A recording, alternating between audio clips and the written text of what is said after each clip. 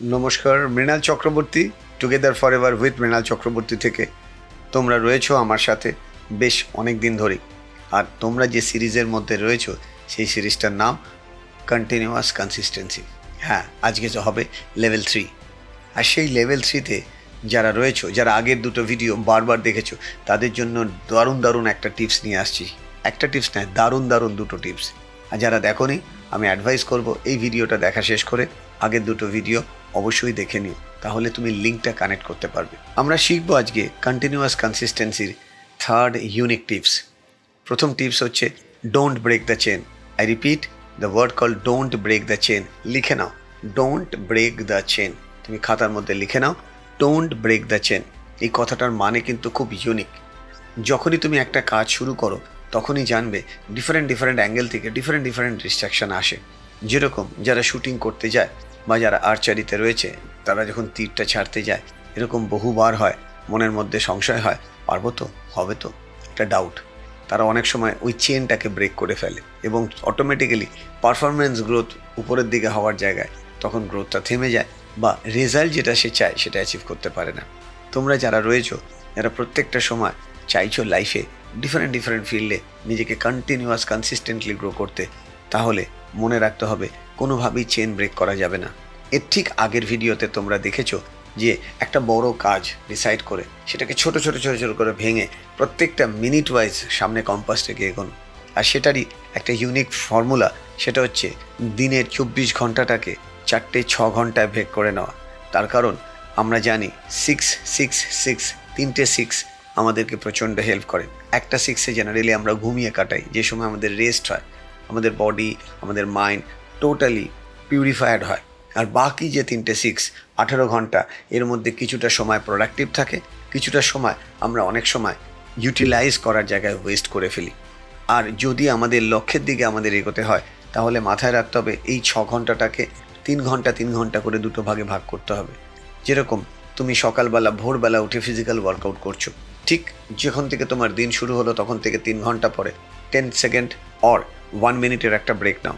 সঙ্গে সঙ্গে একটা ছোট ডায়েরি রাখো। যে ডায়েরিটার মধ্যে তুমি লিখে রাখো এক্স্যাক্টলি এরকম একটা ডায়েরি নাও। যে ডায়েরিটার মধ্যে তুমি লিখে রাখো এক্স্যাক্টলি তুমি যে টার্গেটটা করেছ সেই তিন ঘন্টায়, সেই টার্গেটটা অ্যাচিভ করেছ তো?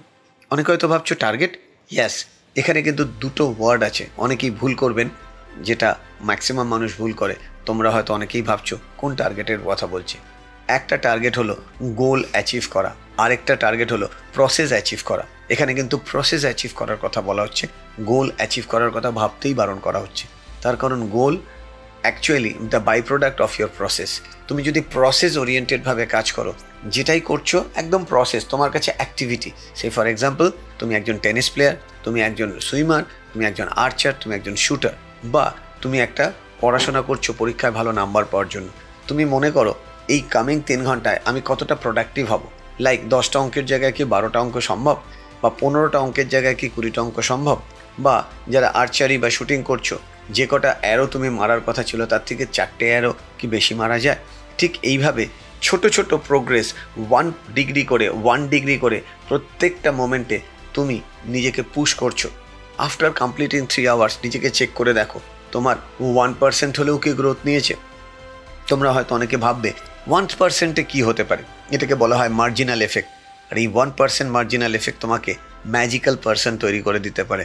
আজকে নয় after three sixty five days তুমি যদি প্রত্যেক দিন ওয়ান পার্সেন্ট করে তোমার প্রত্যেকটা অ্যাক্টিভিটিতে ওয়ান পার্সেন্ট করে ইম্প্রুভ করো after three sixty five days তুমি নিজেও ভাবতে পারছ না কতটা তুমি গ্রো করতে পারো। দ্য সেম ওয়ে সেই marginal এফেক্টে one percent one percent one percent সাধারণ চোখে দেখে বোঝা যাবে না।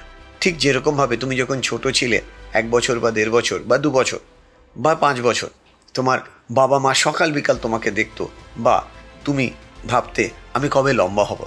কিন্তু পাশের পাড়ার কোনো কাকু বা কাকিমা, বা তোমার কোনো রিলেটিভ আফটার টু ইয়ার্স আর আফটার ওয়ান ইয়ার্স তোমাকে দেখে বলছে, উরি বাবা, তুই কত লম্বা হয়ে গেছিস। তোমাদের আমার প্রত্যেকের ক্ষেত্রেই কিন্তু এরকম বহুবার হয়েছে।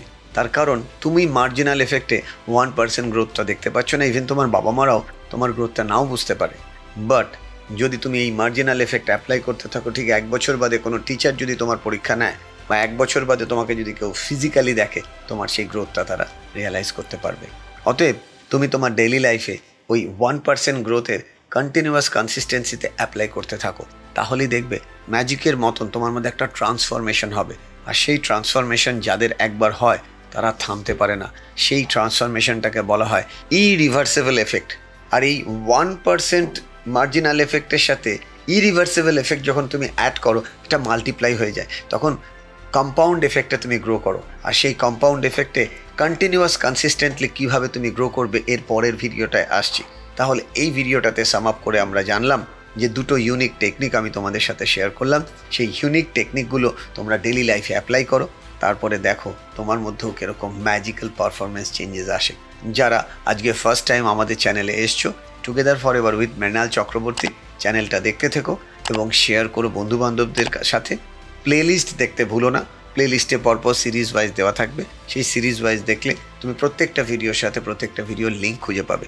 আর এই লিঙ্কগুলো অ্যাপ্লাই করলে তোমার লাইফে ম্যাজিক্যাল চেঞ্জেস আসবে। নমস্কার। পরের ভিডিওতে আবার আসছি তোমাদের জন্য।